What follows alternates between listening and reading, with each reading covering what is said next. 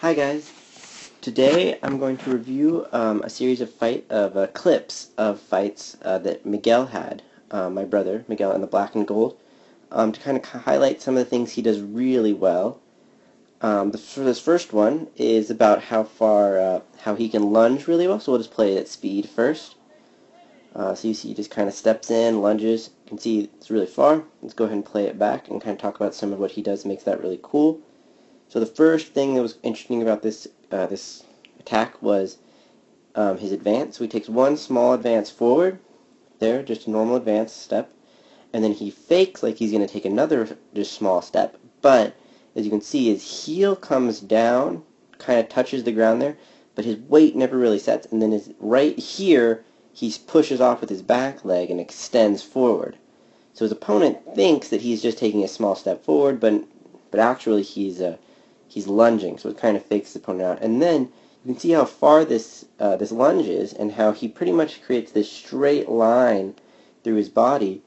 Uh, this gives him a lot of range. He's just using all of the range he has, um, and reaches really far. Your opponent was not expecting. This is really nice, perfect form there. Uh, so we'll just keep going.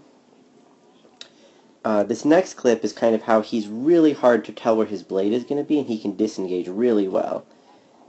So we'll play that back again too. Um, and you see he steps in, does a little little disengage with his sword, a little flourish, and boom, hits his opponent. And this move is he can kind of, he does this and he can vary it and kind of decide where he wants to go depending on how his opponent reacts. And this one, his opponent gives him the center line, and so he just throws there. The other really nice thing is his, you can see here, um, his dagger is, uh, covering his opponent's blade too.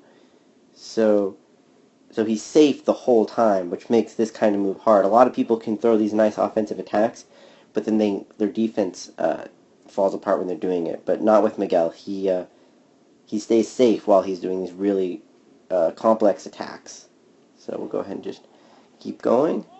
Uh, this next clip here, and that was really fast, but you can see it's the fact that he he can read his opponent really well, and he knows what his opponent is uh, what opponent what shot his opponent is going to throw really early as they're attacking him. So as you can see, as soon as his opponent starts the shot, he's already covering the line with his dagger and a cross parry, and then he throws under their hand.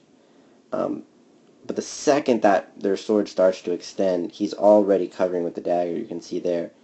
So really nice. And then his timing of his counter uh, counter shot is almost perfect there too. Really nicely done there keep going. Uh, and now this one is a fight, actually, I uh, that I am his opponent.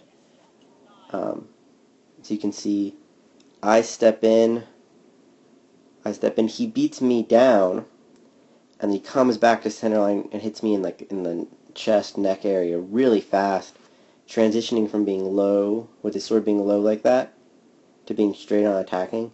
That's really hard to do. He does it really fast Normally I can parry that shot, but he totally punishes me for it. Super good. Um, this is another example of how he can read what his opponent's going to do really early. We'll play that again. So you can see once again, as soon as his opponent starts that shot, he's covering the line with his dagger, throwing back. I think his timing is even better on this one. And you can see how little he moves there. He's not really concerned. He knows he's safe. He doesn't need to overreact. Perfect defense counterpunch, perfect timing. There's not much you can do to stop that kind of stuff. And then this one is just the fact that even when you have him on the ground, you still can't beat him. His defense is good. Covers perfectly, throws back.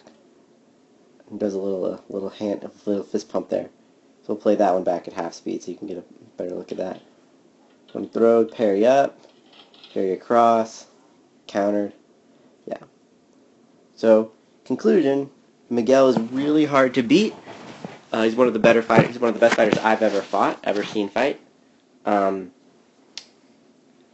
I hope you guys enjoyed this video. I'm planning on making more kind of like this in this style, so uh, subscribe to my channel for uh, more videos like this.